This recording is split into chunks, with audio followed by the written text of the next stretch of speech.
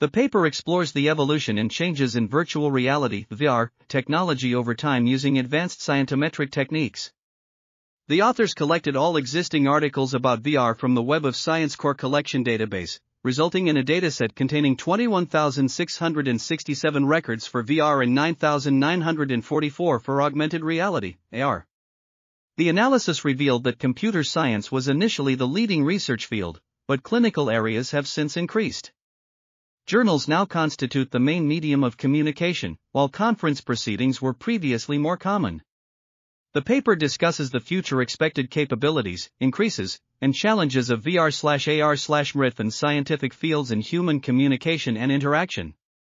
The authors conclude that VR AR MRIF will have a disruptive contribution to scientific fields in human communication and interaction, similar to the advent of mobile phones.